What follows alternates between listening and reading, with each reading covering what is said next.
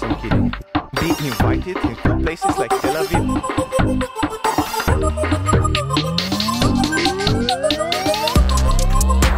Great software. Seriously, that's all you got? Yeah. You're Ready? Because we want to get into that You can use DNA. deploy those robots at full performance.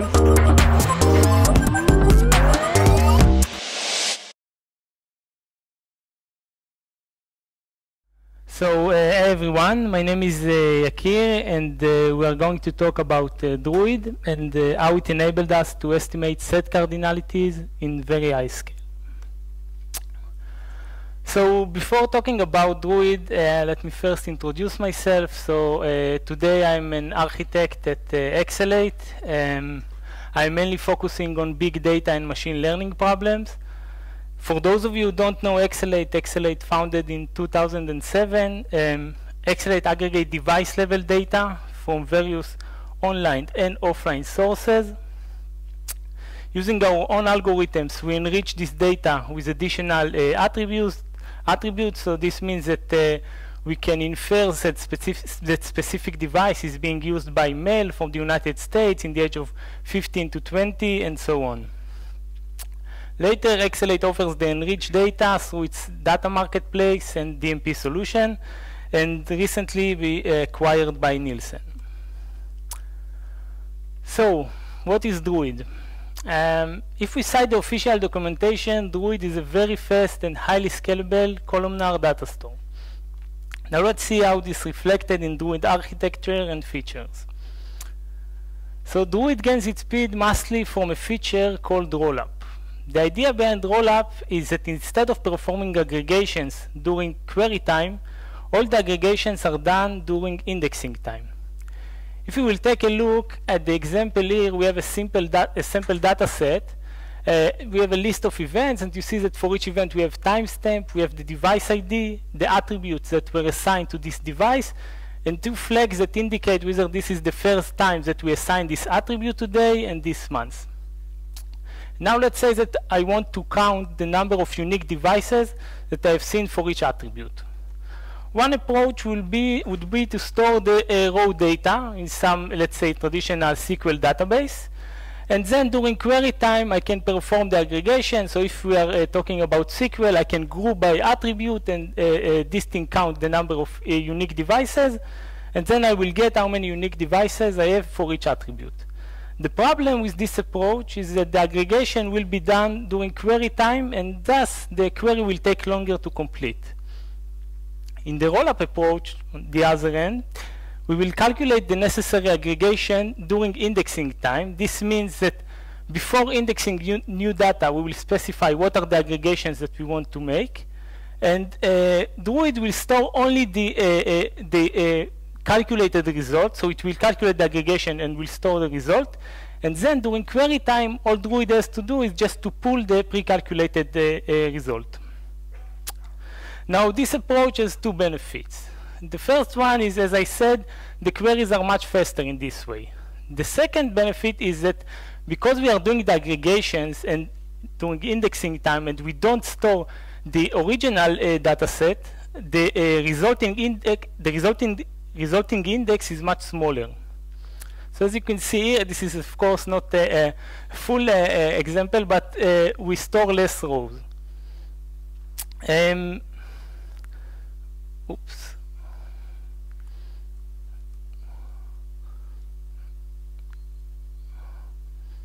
Sorry about that.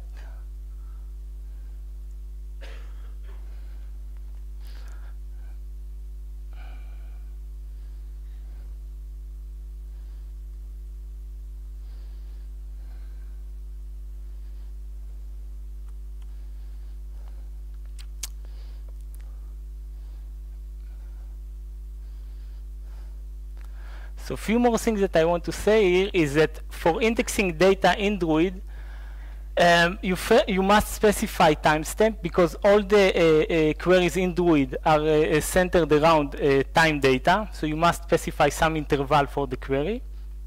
And in addition, the attribute column, which is used for filtering, is called uh, dimension, and the uh, daily unique and monthly unique columns, which are uh, used in the aggregation, are called metrics. In addition, here we used sum aggregator, which is only one of the uh, possible aggregators. In Druid, uh, you can use min aggregator, max aggregator, count aggregator, and many more uh, aggregators that are uh, given by third-party extensions. so, Druid architecture is designed to have no single point of failure and to support many concurrent queries. Every component that you see here can be replicated both for uh, high availability needs and uh, load balancing. Generally speaking, we can divide the Druid components into uh, two processes, indexing process and query process. The indexing process is usually a map-reduce job that is running on a separate cluster, and it gets as an input uh, files to index and um, what aggregations uh, uh, needs to be done, and store the result on a layer that's called deep storage, which is usually S3 or HDFS uh, file system. The query process receives the uh, uh, queries from the client. The queries in Druid are JSON over some REST interface. So the broker reads the queries from the clients and distribute the, the uh, queries job to the different historical. And the historical nodes are the nodes that are responsible for pulling the data from the deep storage and serve the query. In addition to that, uh, Druid also supports real-time ingestion. So that means that we have the real-time node here, which can also read uh, events directly from some uh, event source like Kafka, index the data in real time, and uh, make, uh, make the data queryable immediately. So when a query uh, reaches to the broker, the broker know how to distribute the job between the real-time nodes and the historical nodes. Um, the Druid index file stored on the deep storage in a columnar format uh, for efficiency, of course. So one of the problems that you can solve with uh, Druid is the count distinct problem. The count distinct problem is the problem of finding the number of unique elements uh, you have in some stream of events. At eXelate, more specifically, we are interested in counting the number of unique uh, devices we have seen for each attribute.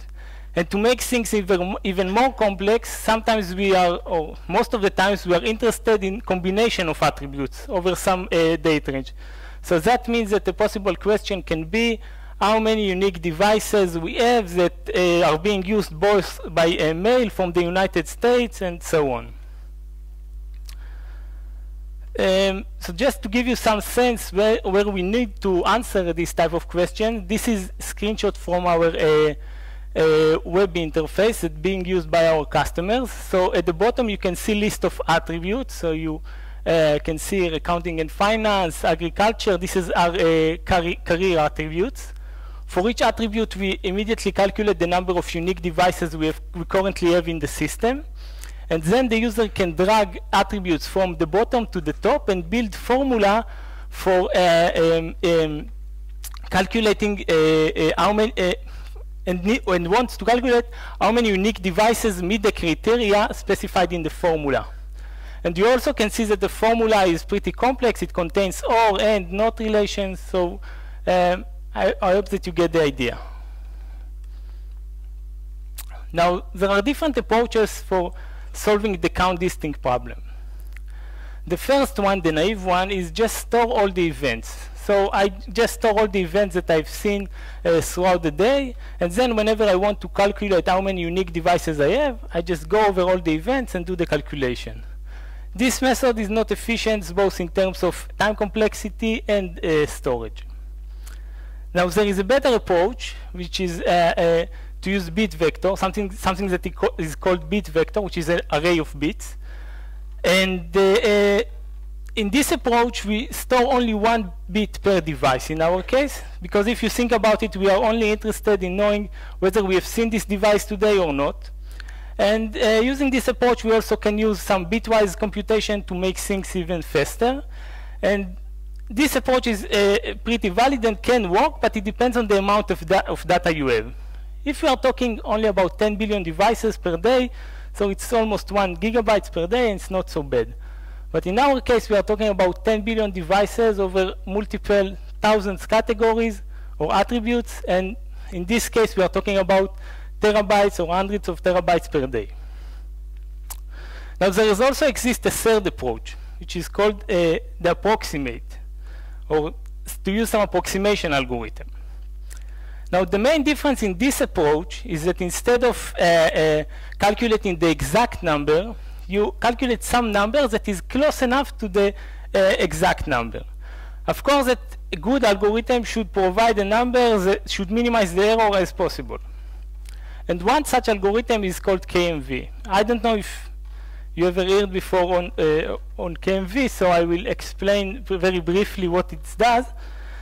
KMV is, uh, K, uh, stands for K minimum values, and the idea is that we can estimate set cardinality, or the number of unique elements in set, uh, for, for estimating the uh, unique number of elements in a set, we don't need to store uh, all the elements. We can just store sample of the elements, and then we can estimate what is the real cardinality.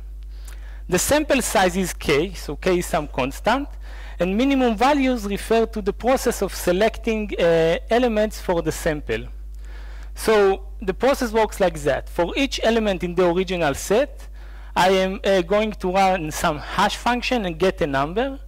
And then using this number, I'm going to, I'm going to check this number uh, against some dynamic threshold.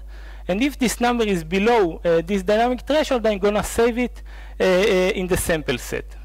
Later, using the sample set and some uh, not so fancy mess, I can estimate what is the real uh, uh, number of unique elements in the set.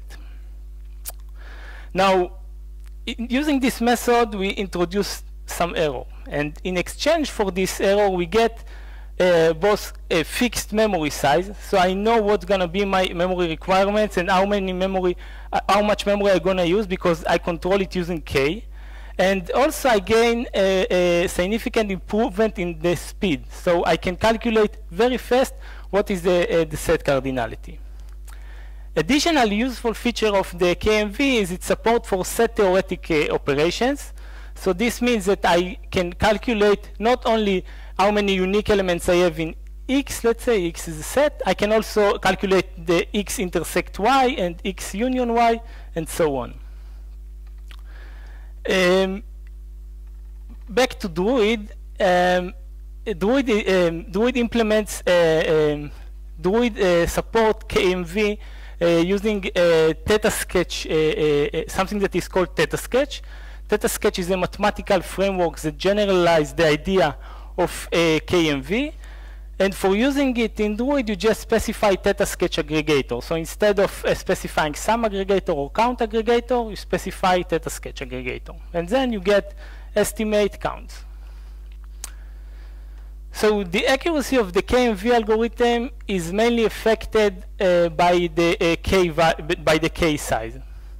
As you can see in the graph, the larger K that you have, the smaller uh, the errors that you're gonna get. So you want to, uh, um, when you think about it, it makes sense because if you uh, uh, store more elements in your sample, this means that your sample is closer to the original set, and thus you uh, reduce the uh, chance of error. Of course, that if uh, we, we will select k that is larger or equal to the original set size, we will have no error at all. However, a larger k means that we will need more memory, right?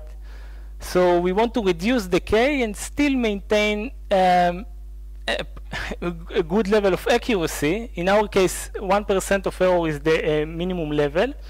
So I added uh, a table here that uh, shows different K values and the uh, uh, uh, errors that you can get. So you can see that even for fairly small Ks, like 32,000, most of the time you're going to get errors that is below 1%. Okay, so at eXelate, uh, we were using Elasticsearch uh, in the last three years for answering uh, count uh, distinct problems. Um, I don't know how many of you know Elasticsearch, but beside the full text search uh, engine capabilities, Elasticsearch also offers a strong analytics uh, engine. And we used it for, do, for, so for answering count distinct questions. So the idea was that we build the following document. Uh, uh, the um, main document was the device ID, And uh, for each device ID, we added sub-documents uh, which represent the events that we have seen for this device. So we store the date and the different attributes that were assigned to this device ID. And we wanted to exploit the Elasticsearch revert index capabilities. So behind the scene, Elasticsearch built reverse index from each attribute to all the devices. And then we can ask how many unique devices we have for each attribute. By the way, Elasticsearch uh, uses bit vector, the bit vector approach for maintaining its own uh, indices. However, as, as the time passed as, and uh, our data grew, we faced many challenges with Elasticsearch. Um, the first issue that we have is with indexing data. And this is also, uh, uh, this is partly because the way we designed our uh, uh documents in Elasticsearch. But uh, anyway, we, we faced an issue with the indexing and indexing only 250 gigabytes of data took us 10 hours. And during these 10 hours, the cluster itself became very unresponsive. This means that we can execute very small number of concurrent queries, and the average query response time was uh, anywhere from 6 seconds to 10 seconds, so it was too lengthy for us. Um, we also had issues with querying the uh, um, the cluster, we noticed that when we uh, were uh, uh, sending more than 50 concurrent queries uh, to the Elasticsearch cluster, the uh, uh, response time climbed dramatically, and this means that the queries begin, begin to be queued bef and, before being served.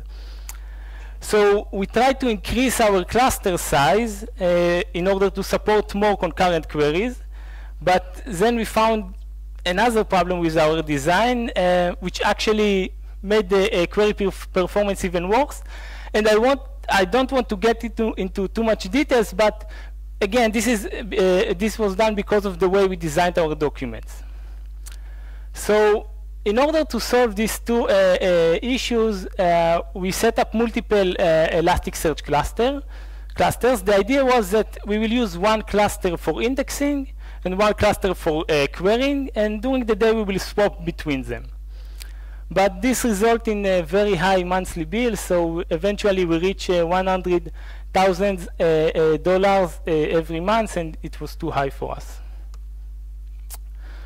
So at this point, we understood that we need to change our approach. And uh, we were thinking what, what we can do, and the first thing that we were thinking of is to uh, maybe we can pre-calculate all the different combination and store the uh, result in some very fast uh, key value store.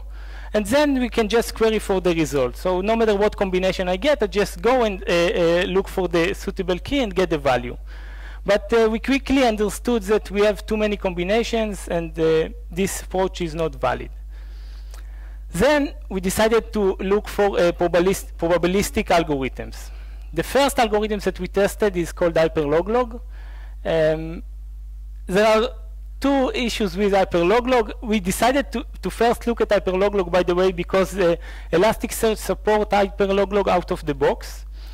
Um, but uh, hyperloglog uh, doesn't support uh, uh set theoretic operations. Uh, um, uh, let's say that it does support set theoretic operations, but the error jumps very significantly when, when doing it, so it's not a best practice. And uh, also, when using Elasticsearch for uh, uh, and Hyperloglog, we still was uh, we still had the issues that, that, all the calculation was done during query time. So the Hyperloglog was calculated during uh, query time. Um, so then we heard of um, DataSketch and Druid and decided to benchmark it. So we built the following pipeline. Everything starts with a Kafka cluster. Our Kafka cluster aggregate all the different events from uh, uh, our uh, data centers. Then we have a Spark job that uh, uh, read the events from the Kafka, uh, transform the events into tuples of timestamp, device ID, and attribute, and store it on S3 in the format of Parquet. Later, we have a map Druid map reduce job together with DataSketch aggregators that runs on these Parquet files and store everything in the deep storage. in our case, it was we used S, S3, S3 as, as, the deep storage and not the S3. And uh, Druid uh, takes the uh, data from S3 and serves the, uh, the client's queries. So these are the benchmark results. Um, I will just give you some uh, background for the benchmark. For uh, Druid, we used one broker and eight historical nodes. So if you remember the architecture slide, these are the nodes that do all the heavy calculation behind the queries. And for Elasticsearch, we used 20 nodes. This was just a replication of our uh, production cluster. Um, we loaded 30 days of data into both uh, Druid and Elasticsearch. And uh, using JMeter, we uh, measured the response time. Of course, the queries that we use resembles real-world uh, queries from our customers.